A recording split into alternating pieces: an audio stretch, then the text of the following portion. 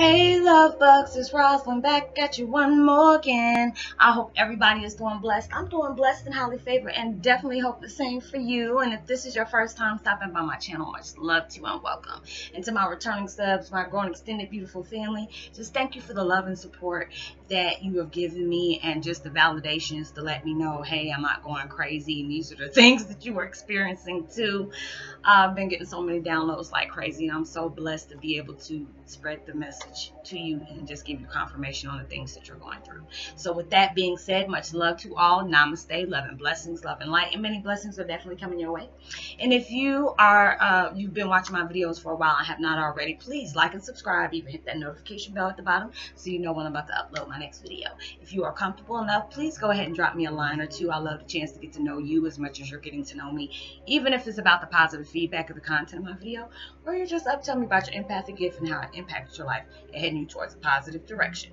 Also, if you feel like the videos just gave you good vibes or also, you know, some good information that you need to share with another empath, go ahead and do so. And while you're at it, give me a thumbs up, like, and even share as well on your social media favorites wherever you see fit. Thank you so much for stopping by my channel as always and showing love and support and I hope you're able to resonate with the content of my video. Uh, today, well y'all been saying for the, uh, I told my daughter I've, I've, kept my promise with her that I'm gonna go ahead and share her website. I don't know if everybody's watching the same videos but this is like her, her drawing that she did. I'm so proud of her. She's been drawing like that since she was a little girl. Uh, she got that from my dad I think because my dad's like very you know, artistic like that. Um, she's getting ready to start her, her book off where she's already got the books finished and everything, but she needs to get it published and she only has 200 more dollars left to go. She don't raise all the rest of it by herself, which I'm so proud of her. And I will be posting her link down below. So if you please can go ahead and check out her website and, you know, donate whatever you can, it will be greatly appreciated. So today, my meditation music I'm listening to it's called Meditation Music for Positive Energy, Clearing Subconscious Negativity, Morning Prayer, Healing Music. And I will post that link in the description box below. And today my video is about Twin Flame 101, experiencing astral projection. You know, there's a lot of people that's been doing that. Y'all, I don't even know how I do that. You know, I'm not even going to go about how you do it. But there are some times that I've meditated, like, you know, if the energy is really strong, I can be able to connect with certain people that are like so connected. Like I remember the first time I did it with my dad. It was so crazy. It was like a couple of months after he had passed away. And it was like I was smoking weed at the time. Um, and it was like I'm getting ready to eat. And I kept on hearing these these it's, it's like clank, uh, clank, you know, like some high heels, you know, tap tapping somewhere. I, it was driving me crazy. And I was asking my ex, I'm like, do you hear that? He was like, no, I don't hear anything. And I thought I was about to lose my mind, like, or unless I was just really high. and then he was like, I said, you sure you don't hear that? He said, girl, you've been smoking. Stop smoking. And then the next thing you know, it was like me, him, and my daughter was sitting there. And then I kept hearing it and hearing it. And it's like with my foyer where I used to do my, you know, my videos in, where I was sitting at there, there's like a door that separates separates from the foyer all the way into my, my living room area. That door was wide open.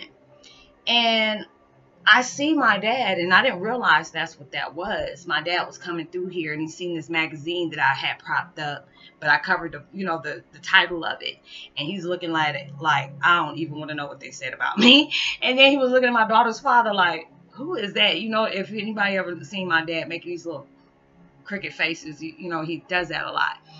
And then he looked at my my daughter's father trying to figure out who that was. And then he looked at my daughter, which was so funny because he was like, oh, she's so cute. And then he had this confused look on his face like, hold up, because my daughter, anybody who's connected me, connected to me on Facebook, if you see my youngest daughter, my, my, my baby looks just like my dad at, you know, at 18. Like if anybody's been listening to my dad since the late 1970s and knew what he looked like then, my, my daughter is just a female version of him. Like, and it's so creepy.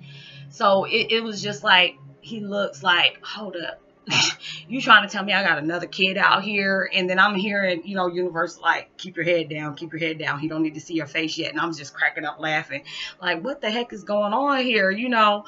And next, you know, he was really like racking his head, like, I did not sleep with this woman. I don't understand why this kid looks like me. you know, he was really going off, and you can hear the universe up there cracking up laughing, like he don't know this yet. He don't know.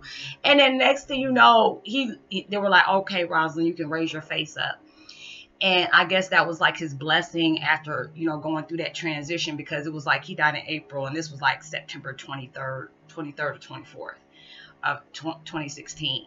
And they were like, Rosalind, you can raise your face up now.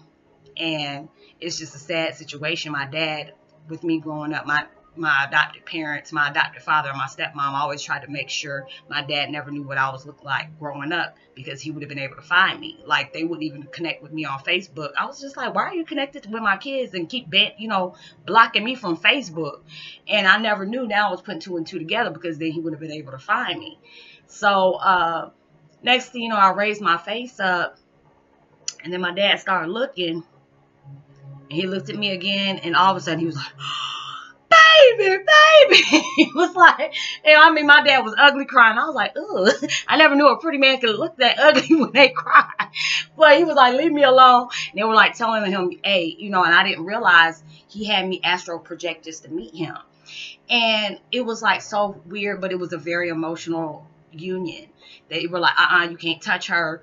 And he was like, baby, I just always knew that you were so beautiful. You were so beautiful and you look just like me. You know, and I was like, hey, daddy. And in the back of my mind, oh my God, I got Prince standing up in my living room. Oh my God. I, I mean, that's the whole process. So I had a shocked look on my face.